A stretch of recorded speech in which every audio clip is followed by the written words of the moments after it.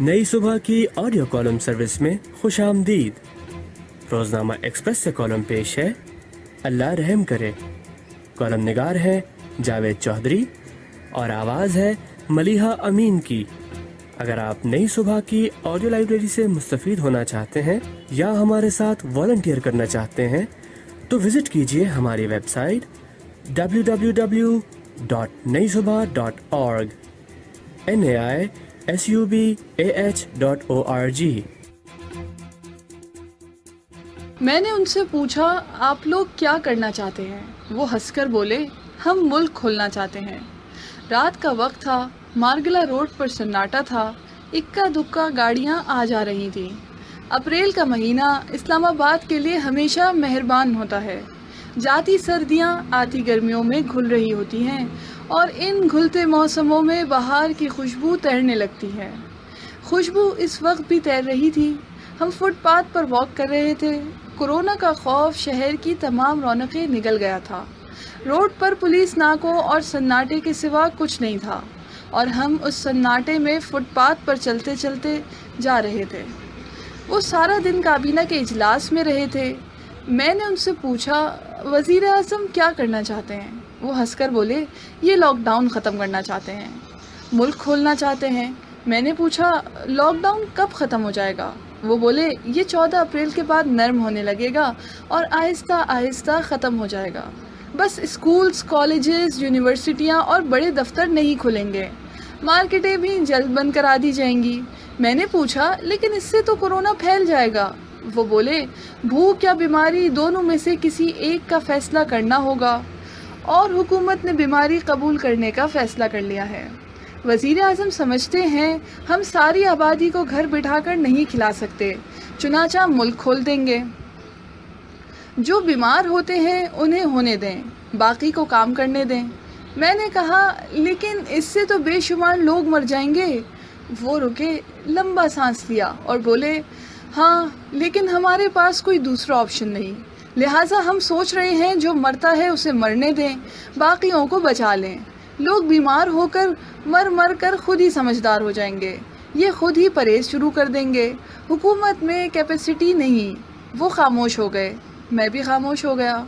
हम दोनों बड़ी देर तक चुपचाप चलते रहे। हुकूमत की पॉलिसी क्लियर है। ये ज़्यादा देर तक मुल्क नहीं बंद रख सकेगी। ये आहिस्ता आहिस्ता लॉकडाउन खोल देगी।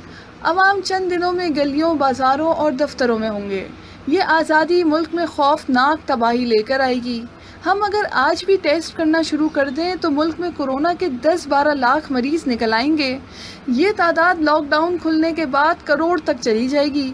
अगर कुदरत ने इस दौरान मेहरबानी फरमा दी, या फिर यूरोप और अमेरिका ने वायरस का कोई हल तलाश कर लिया तो हम बच जाएँगे। वरना हमें जहनी तौर पर तबाही के लिए तैयार हो जाना चाहिए। कल का दिन हमारे लिए क्या लेकर आता है, ये हम कल पर छोड़ देते हैं। लेकिन कोरोना की इस वबा ने दुनिया में चंद नए स्टैंडर्ड ज़रूर सेट कर दिए हैं। दुनिया में बेशुमार नए रुझानात और वैल्यूज़ सामने आई हैं। मसलन जापान कोरोना का शिकार होने वाला तीसरा मुल्क था। चीन के बाद थाईलैंड में मरीज़ सामने आए थे और फिर जापान में धड़ाधड़ मरीज़ सामने आने लगे। दुनिया में सबसे ज़्यादा बुज़ुर्ग जापान में हैं। जापान में सौ साल से जायद उम्र के सत्तर हज़ार लोग हैं। आप सत्तर से सौ साल के दरमियान लोगों की तादाद का अंदाज़ा खुद लगा लीजिए। दुनिया का ख्याल था, ये तमाम लोग इंतकाल कर जाएँगे, लेकिन नतीजा हैरान कन निकला। जापान में सिर्फ़ सात हज़ार तीन सौ सत्तर मरीज़ सामने आए और एक सौ तेईस हलाकतें हुई। मुल्क बड़ी तेज़ी से कोरोना से रिकवर भी कर गया। क्यों? वजह दिलचस्प है। जापानी दूसरी जंग अजीम के बाद से मास्क पहनते आ रहे हैं। जापानियों की आदत है, ये मास्क के बगैर हजूम में नहीं जाते। दूसरा, ये दूसरों से हाथ नहीं मिलाते। झुक कर एक दूसरे को सलाम कर लेते हैं। तीसरा, ये जूते लेकर घरों में दाखिल नहीं होते। चौथा, ये जड़ी बूटियों का सूप पीते हैं। और पांचवा, ये हुकूमत की हर वार्निंग पर मज़हब की तरह अमल करते हैं।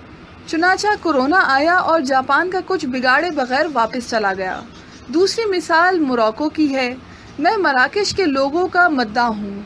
हमारा हम ख्याल ग्रुप भी मोरक्को जाता रहता है, लेकिन ये लोग इतने समझदार और डिसिप्लिन होंगे, मैं नहीं जानता था। आप मोरक्को का कमाल देखिए। 2 मार्च 2020 को मोरक्को में कोरोना का पहला मरीज़ दरियाफ्त हुआ। हुकूमत ने उसके साथ ही होटलों के 8000 कमरे आइसोलेशन रूम बना दिए। पूरे मुल्क की गारमेंट्स फैक्ट्रियों और दर्जियों को मास्क बनाने पर लगा दिया।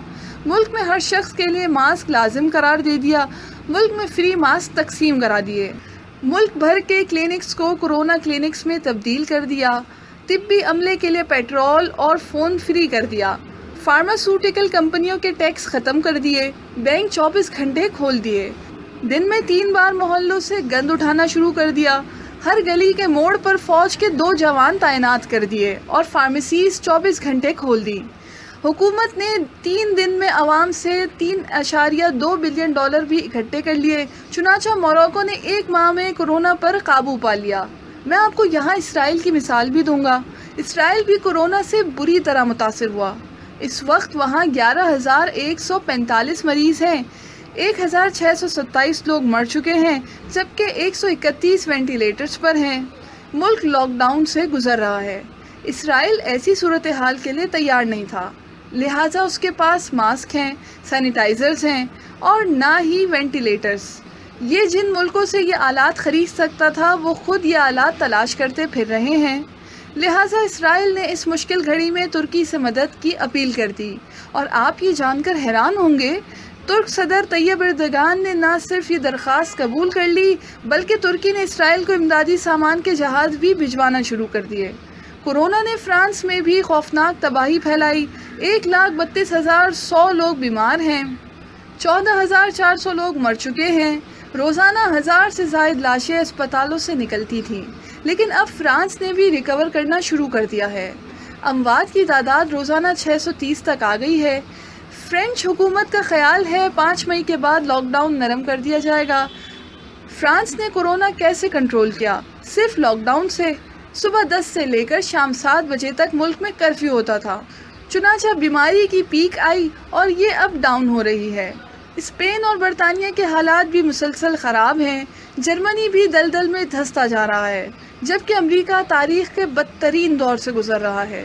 सदर ट्रंप खुद अपने मुँह से कह रहे हैं, हमने अगर हलाकतों को एक लाख पर रोक लिया तो ये मुआवजा होगा।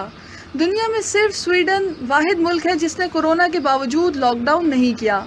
लोग भी मर रहे हैं और मुल्क भी खुला है। स्वीडन में साढ़े दस हज़ार लोग बीमार हैं 900 मर चुके हैं और मरीजों की तादाद में रोज़ाना इजाफा हो रहा है। लेकिन हुकूमत इसके बावजूद लॉकडाउन नहीं कर रही। क्यों? शायद स्वीडन की हुकूमत और आवाम दोनों के आसाब मज़बूत हैं या फिर वहाँ इमरान खान की हुकूमत है। मैं आपको यहाँ ये भी बताता चलूँ, सऊदी अरब, चीन के बाद दुनिया का दूसरा मुल्क है, जिसने कोरोना पर काबू पा लिया। वजह कर्फ्यू है। सऊदी हुकूमत ने तवाफ़ भी बंद कर दिया था और मस्जिद नबी के दरवाजे भी मुकफ़ल कर दिए थे। चुनाचा सऊदी अरब भी बच गया और पूरी इस्लामी दुनिया भी। सऊदी हुकूमत अगर ये ना करती तो शायद कोरोना इस वक्त तक पूरी इस्लामी दुनिया में तबाही फैला चुका होता। ये बीमारी इस वक्त खुली किताब है। मगरब और जदीद दुनिया बेबस हो चुकी है। लाशें दफनाने के लिए जगह नहीं मिल रही। अमेरिका में लाशें हफ़्ता हफ़्ता अस्पतालों में पड़ी रहती हैं। इज्तमाही खबरें भी बन रही हैं और जनाजे भी और कफन भी ख़त्म होते जा रहे हैं। दुनिया अब तक सोशल डिस्टेंसिंग के अलावा इसका कोई हल नहीं निकाल सकी। दूसरों से छः फुट का फासला रखें, मास्क पहने, पंद्रह मिनट बाद साबुन या सैनिटाइज़र से हाथ साफ़ करें, हवा में छींक ना मारें, खांसी से परहेज़ करें, दूसरों के साथ हाथ ना मिलाएँ और गले ना मिलें। दुनिया में अब तक इनके अलावा कोई हल, कोई इलाज दरियाफ्त नहीं हुआ, लेकिन सवाल ये है, क्या हम ये कर रहे हैं? हरगिज़ नहीं।